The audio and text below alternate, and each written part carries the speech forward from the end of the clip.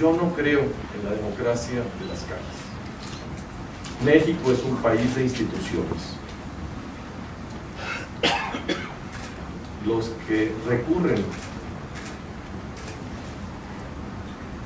a actos de violencia, de presión, de intimidación, es o porque no tienen argumentos o porque no tienen votos.